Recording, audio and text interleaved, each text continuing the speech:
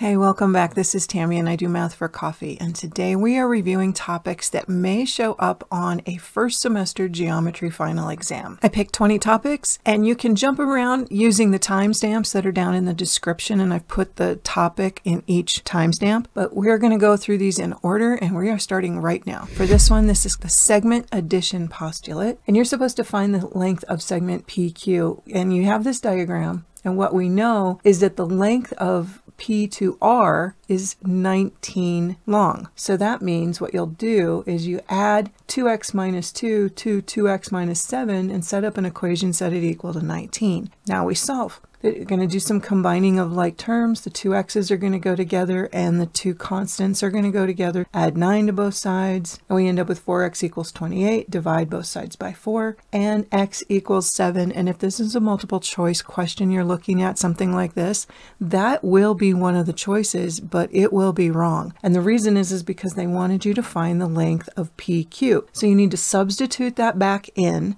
2 times 7 minus 2. That will be the length of PQ, so that's going to be 14 minus 2, so PQ is 12. This problem is about angle addition postulate. So the given information is that angle ARQ is x plus 45 and angle SRA is x plus 86 and the entire thing, which is angle SRQ, is 109. So when you add those two little angles together, you are going to set that equal to 109. Okay, watch go through the algebra here real quick. All right, so now we know that x equals negative 11. Now, does that make any sense? Well, it might because we're not solving for an angle here. We're just solving for x. Substitute the negative 11 in for x in both of the smaller angles and see what we get.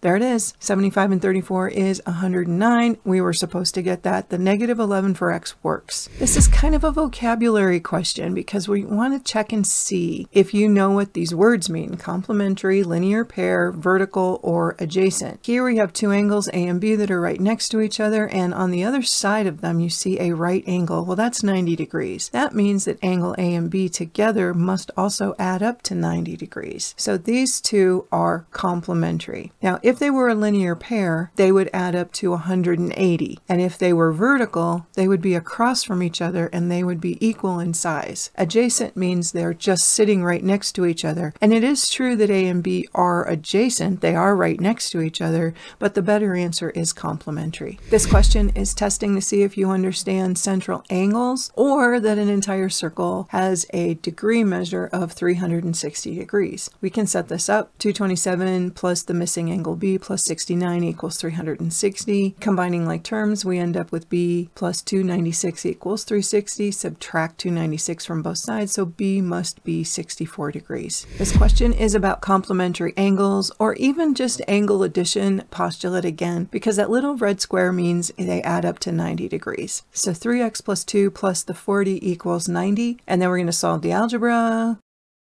and we end up with x equals 16. And to check your answer, put 16 in for x where 3x plus 2 is and see if that all works out and it adds up to 50, and so 50 plus 40 equals 90. PW is an angle bisector. That angle bisectors split angles exactly in half. You end up with two smaller angles that are equal in size. So find x if the measure of angle 1 is 17x, and the measure of angle 2 is 18x minus 1. Well, even though those algebra expressions are different, we know that the size of these angles has to be the same. So 17x equals 18x minus 1. We subtract 18x from both sides, and we end up up with negative 1x equals negative 1. Dividing both sides by negative 1, we end up with x equals 1. I'll leave you to do the check. This question is about vocabulary around the idea of two parallel lines in a transversal. So they're asking you what is x and y? Well, x and y in this diagram, they're not the same size. And they're also on the same side and they're also in between.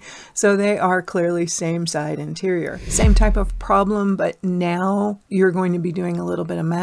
Find the value of x that makes lines u and v parallel. Well, in order for these two lines to be parallel, these two are supposed to be supplementary. They're going to add up to 180. So x plus 15 plus 70 equals 180. Now, instead of combining like terms here, I, I, wanted to do it a little differently to show you that doing it a little differently will also work. So I subtracted 70 from both sides right away, partly because it's easier to do with mental math. 180 minus 70 is 110. So now I have x plus 115 equals 110. Subtract the 115 and I get x equal to negative 5. I'm always a little nervous about getting negative answers in geometry, so let's check that one. We know if you add negative 5 to 115, you get 110. Now that 110 plus the 70 that's down below it, yes, that does add up to 180. Now we have to do the same thing again. We're going to find the value of x that makes the two lines parallel, but now we have a different pair, 9x minus 4 and 7x plus 18. Those are called alternate exterior angles. Even if you forget the name of the pairs, if you remember the math relationships, you'll be fine with a problem like this. So we know that those two are going to be equal to each other. Almost all these angle pairs are equal except for the same side interior, alternate exterior angles are congruent. 9x minus 4 equals 7x plus 18. Subtract 7x from both sides, we get 2x minus 4 equals 18. Add the 4, 2x equals 22. x equals 11. Let's do a quick check to make sure that's going to work out.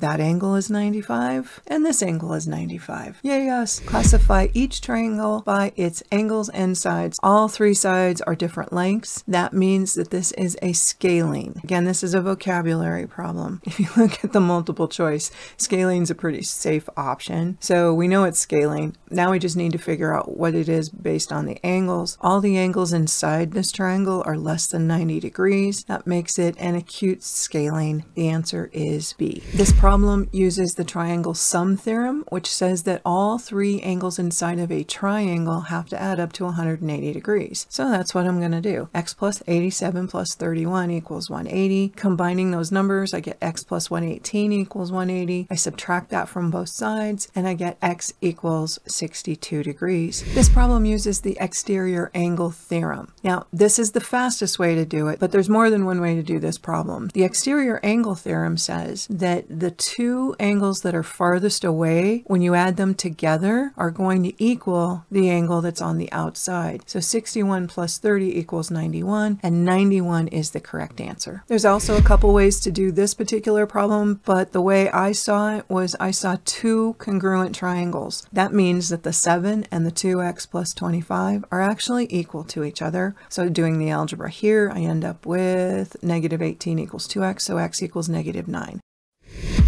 We have a couple of things going on here. We have two isosceles triangles sitting next to each other, but they also make a 90 degree angle up there in the corner. But the only number they gave us is this 50 degree angle that's over on the outside. And we are supposed to find x, and x has something to do with angle 2. So the measure of angle 2 is x plus 114. I can't even use that right away. I mean, I really need to dig in here and start to figure out what all these angles are. And you have to start with the 50 degrees. The angle across from the 50 degrees is a vertical angle. Those are the same size, so that's also 50 degrees. Now, if you look at this triangle, it is an isosceles triangle. Base angles in isosceles triangles are congruent. So if I know that one of them is 50, the other one must be 50. Okay, so now I'm over here where the right angle is, and I know that part of it is 50 degrees, so the other part of it has to be 40 degrees because they have to add up to 90. Now we're looking at the isosceles triangle that's here on the side. So if that's 40, then this one down here on the bottom is also 40. Well, those two add up to be 80. And since a triangle has to add up to 180 degrees total, that means that angle 2 as an actual angle measurement has to be 100 degrees. 100 plus 40 plus 40 is 180. Okay, now we're cooking. So the 100 has to equal x plus 114 because they told us that angle 2 equals x plus 114. Let's do some algebra. Subtract 114 from both sides. We end up with x equals negative 14. I'll leave you to do the check if you want to. This is one of my favorite topics, and that is using the converse of the Pythagorean theorem. We know that the Pythagorean theorem, c squared equals a squared plus b squared, is to help you find sides in a right triangle. But what the converse is telling us that if you find c squared, a squared, and b squared, you can also figure out if it's a right triangle or an acute triangle or an obtuse triangle. If c squared comes out to be less than a squared plus b squared, it is an acute triangle. If c squared comes out to be greater than a squared plus b squared, you have an obtuse triangle. The trick here is you have to figure out which side is longest because that's going to be your c. Grabbed the calculator and I checked that the square root of 7 is about 2.6. So if that side's about 2.6, the other side is 3. 4 is actually the c. So c squared is going to be 4 squared and a squared plus b squared is going to be the square root of 7 squared plus 3 squared. Well, 4 squared is 16, and root 7 squared is just 7, 3 squared is 9, and what we end up with is 16 equals 16. Because they're equal, we know that this is a right triangle. Let's get into some congruent triangles. If you need some practice with proofs and congruent triangles, check out the link above and I'll put it in the description too. State if the two triangles are congruent. If they are, state how you know. Well, the how you know is the theorem. Well, these two angles are congruent to each other, so we have an angle. The other two angles are congruent to each other, so there's another angle. So we know we're going to be using two A's for sure. It's going to knock out A and B. Between the two congruent angles, these two triangles are sharing a side. So it is really angle, side, angle, which is none of these. Congruent triangles again, but in a different way, state what additional information is required in order to know that the triangles are congruent for the reason given. The reason is side, angle, side. I look at the triangles as given to me and I see that I have an angle that's congruent and a side that's congruent. And I know that they want side angle side, so it has to be in that order. That A, the angle has to be between the congruent sides. Side LM has to be congruent to side UT if side angle side is going to be true. Go look at our choices and it is D. LM is congruent to UT. We have a quadrilateral here. One of the things we know is that the sum of all the angles in a four-sided figure has to equal 360 degrees. It's very similar to what we know about triangles where all the angles have to add up to 180. So to make my job a little easier, I'm going to add 64 and 108. That comes out to be 172. And I know that 15x and 22x is 37x. 5 minus 2 is 3. So I have 37x plus 3 plus 172 has to add up to 360. I only did that that way just to save some space. You could write them all out and then start combining like terms. There's nothing wrong with that. Putting together the 3 and the 172, we get 37x 175 equals 360. Subtract 175 from both sides. 37x equals 185. We have to divide that by 37. Let me grab a calculator and the answer x equals 5.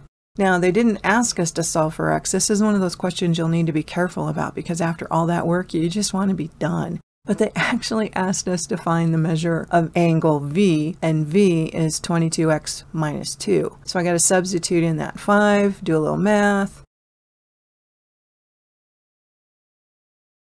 and we get 108 degrees. Find the measurement indicated in each parallelogram. This one feels like it's the same, but it feel, also feels like they didn't give you enough information, so there's something you're supposed to know about parallelograms. These behave a little nicer than just regular four-sided figures. In a parallelogram, if you add any two consecutive angles, they have to add up to 180 because the whole thing's going to be 360. So I'm going to add these two together, the 5x plus 3 and the 18x minus 7, and I get 23x minus 4 equals 180. 23x then equals 184. We divide by 23 and we get x equaled 8. And like the last problem, x is not what they were looking for. You have to find it, but you have to go a little farther because they want to know the measure of angle J. So we're going to substitute that 8 into 18x minus 7, and we get 137 degrees.